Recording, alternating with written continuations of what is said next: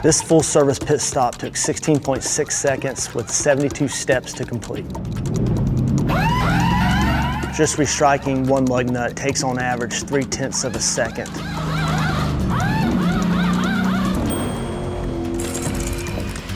Let's take a look at the footage in slow motion. Carrier's getting his equipment set right out of the gate, just like the jack man's getting his jack ready on the wall as well. That jack itself weighs about 35 pounds. And of course the changers have their guns already in the off position. They're always making sure the button's in the right position. They have nitrogen running through that air hose so that gun itself works when they jump off the wall.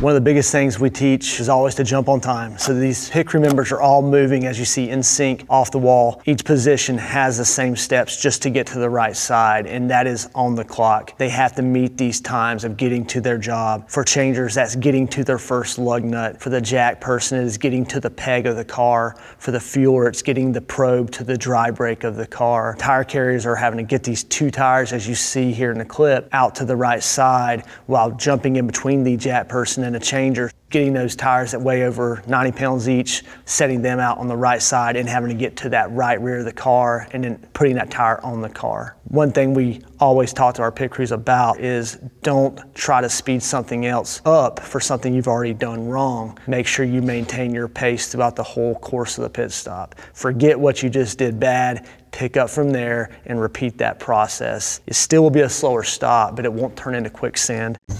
So here we're showing a good example of choreograph. You're always trying to chase that choreograph to make it cleaner. There's always a 1% that we can make better and better for each stop. That front changer's always taking five steps to get to his first lug nut. The jackman's taking five steps to clear the nose of the car to be squared up on the right side to hit his peg.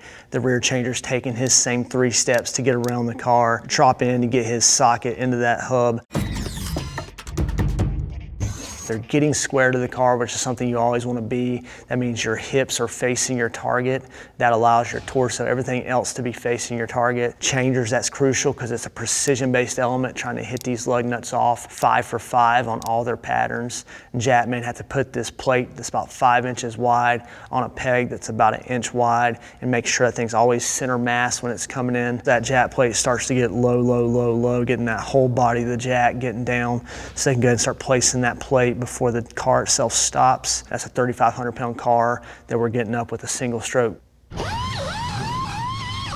Here on the right side, the tire exchanges are really good. They basically hit that fifth lug nut off, pull tire, get tire on, hit the first lug nut on is about two seconds. And that's called the exchange. That is a big chunk of both sides of the pit stop. These changers only get two tenths or under on the front to get to their first lug, and the rear changers only getting about seven tenths of a second to get to their first lug. So this is a great view of the front changer. He's popping each lug nut efficiently. That socket's hitting the lug square, getting them off on the first strike does a really excellent job. As soon as you clear that fifth lug nut, we gotta go ahead and start flipping the gun so we can get both hands into the wheel. The left hand is still holding the gun as you'll see in this angle, so you don't have a full grip like you do on your right hand. But we teach to get those top two fingers, that index and that middle finger hooked on the spoke closest to seven or eight o'clock, and that right hand closest to two or three o'clock. So we got a nice symmetrical lever coming off the hub. Good pulls here, changers again, really saving time on button switches. These button switches can take anywhere from two tenths to a second if they miss it. And so if you can shave eight tenths on a bad button switch on both sides of the car, that's another 1.6 seconds in the pit stop that they're gonna save just off of using their equipment more functionally. So that's those pieces of the pit stop we're always looking at so we can grade them out once they get back from the racetrack. If you watch that tire carrier in the rear, you watch the jack person in the front starting to put those tires on, you'll see there's two different styles here. The right rear is being what we call left stepped on and the right front tire is being swung on. So it's two styles of carrying. A swinging index is always going to be a little bit faster than a left step index due to biomechanics on how you set up and using your hips to put the tire on the car. You'll see him just get his left hand placed on the tape for his hand placement and you'll start to see that right hand go set up close to six o'clock. That way can start to move the tire on with his right leg. We call that more of a swing stout index. So he is swinging the tire on and of course that tire carrier is left stepping the tire on. We always say a four tire pit stop is two stops within itself, the right side and the left side. Front changer does a really great job bracing himself on the fender to get up. He's always getting his hips angled at 45 degrees, coming around the nose of the car. Jack Person's dropping that car after he sees that all five lug nuts are tight on the right side. As soon as he's dropping that jack, he is chasing that front changer. We're always working in unison. So that front changer is taking three steps to get to the left side. That jack person is taking seven steps to get to the left side. Rear changer taking five steps to get to the left side. And in the tire carrier, they're trying to take minimal steps to get to that right rear tire that just got tire pulled. The tire carrier here does a great job of moving that 90 pound tire efficiently to the left side. He's also making sure that tire gets back to the wall. If tires don't get back to the wall, that's a tire penalty on the pit crew. But you also have to have a really great front changer getting up, already having that tire out of the way, getting his gun up, getting that hose cleared so he can get up and go. And here's a great angle of him getting that out of the way, taking his three steps, getting back down, getting that gun in the hub. Generally that time's only about two seconds to 2.2 seconds from getting up and getting back down and starting their job again. So here's another example of what we don't want to have false steps. That tire carrier, every step he takes needs to always be in a forward direction. The pit crew, that's the story of their lives. Every step they take needs to be going towards the next objective of the pit stop. And if they're doing that, that Jack person can get faster from what we call peg to peg, dropping that car running around the car like you see here, getting the plate under the left side peg and pegging it. That peg to peg on a good day is under three seconds and then getting the car up is well below four seconds. And if all things go good, changer's already hit five off on the left rear, nothing happened on the front for the Jack person to run around, he's able to get that tire onto the left side, generally about five and a quarter seconds to five flat. And that's pushing the boundaries of how fast you can really go.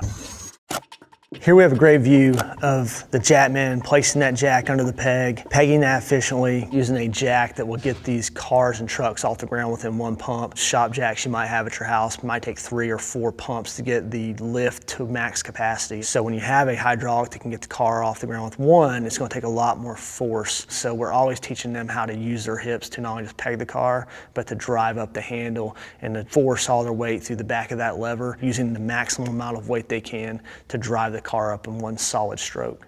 We generally get the car up in one second or less because we have to go ahead and get the tires off efficiently sooner than later.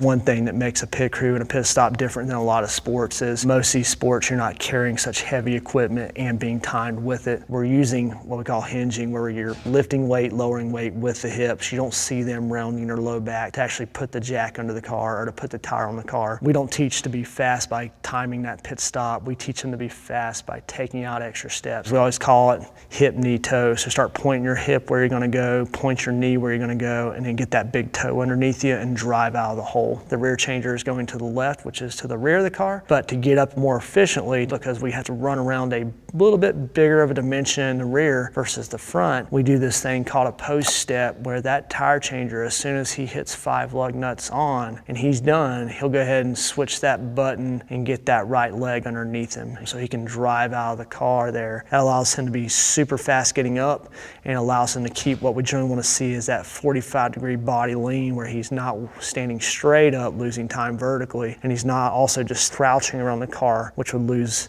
linear speed. So there's a really good angle of hitting those studs, hitting those lug nuts off in the front with his impact wrench and that socket's lining up. If they ever have to do a restrike, it's generally because they've done something to affect the angle of the socket. It could be that they didn't have the camber in their wrist. They could have had their elbows dropping to push that gun high. They could have been rising up in their hips to push the gun down. You'll also see in the same shot that we did have a restrike on the rear changer thought he had cleared that lug nut, but then he had to go back in and hit it off again. And you'll see there's a big difference in time when you hit five off versus having to go back and restrike that sixth lug nut.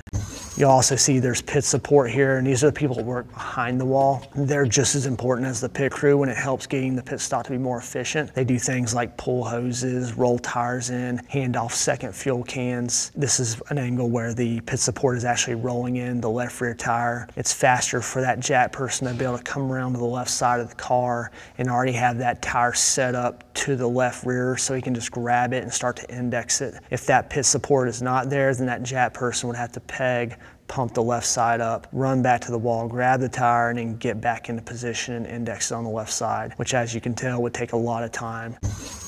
These tire carriers putting those tires on the, the hub really quickly with their left hand always being on the same spoke and then using their right thumb to steer that tire to the stud. You just don't grab the wheel and just throw it on anyway. They're lining up those five stud holes to the five studs that are on the hub. These changers are timed on how quickly they can do that and on average they're doing five lug nuts off or five lug nuts install within one second to 1.2 seconds. And if you time and look at the best indexes on pit road on Sunday, Saturday and Friday These tire carriers and jack persons are moving that tire from the ground and getting it lined up on the hub flush within a half a second. And we have those taped on the tire to help us always have the same hand references you want to hit 20 lug nuts every stop. Even if you have extras, that's fine. What you don't want to do is have 20 lug strikes and be perfect on your patterns, but then you have three, four, five loose lug nuts where you have a loose wheel. Same thing with a fueler, putting fuel in the car. You can put that probe to a dry brake and engage it, but if that thing's not perfectly sealed, fuel's not going to get in the car. This is a good example of when a fueler is coming from the wall on their first can plugging in, and once they have that can in their hands, right hand wrapped around it, left hand supporting the neck of that probe, they take that left foot, right foot, left foot to engage the car, and then using those hips, keeping them at 45 degrees,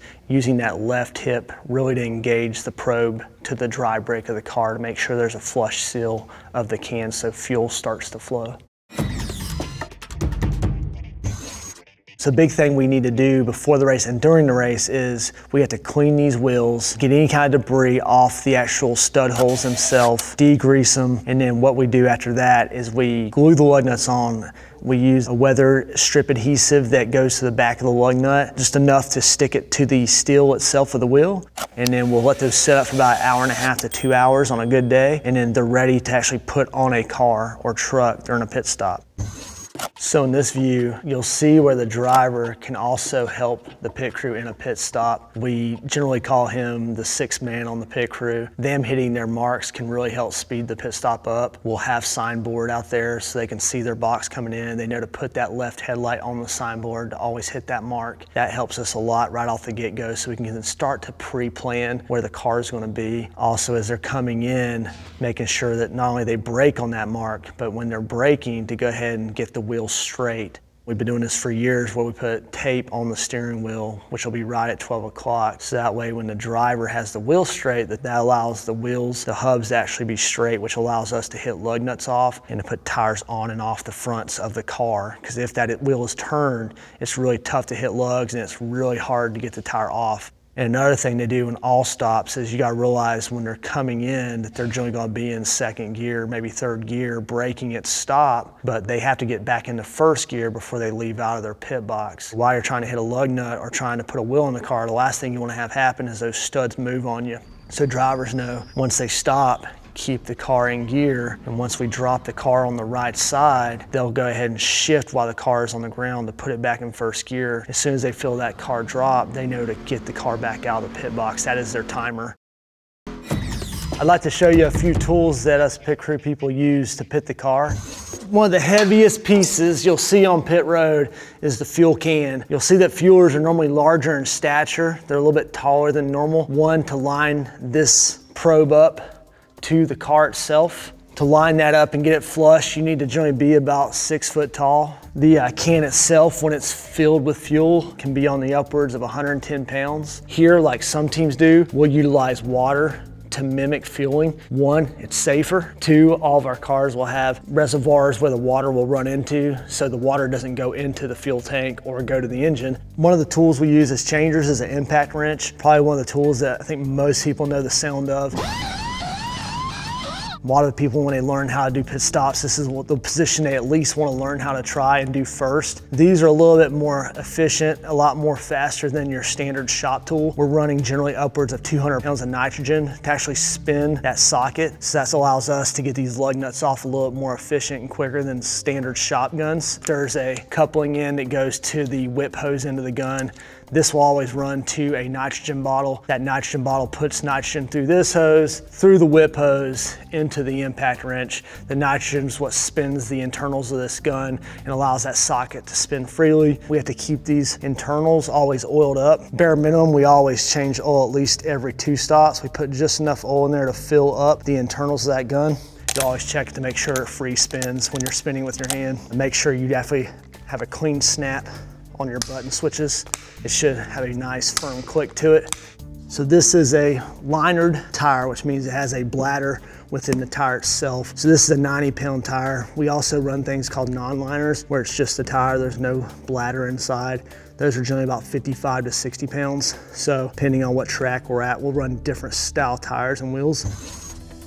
To become a pit crew member, it takes a lot of heart, drive, and intensity. Teaching the fundamentals to anyone is not the hard part. It's getting an individual who wants it, who doesn't mind grinding day in, day out, repeating the same movements to fine tune those steps to get better each and every day. Sometimes only gaining 1% each time they practice. You don't win a race without a pit crew.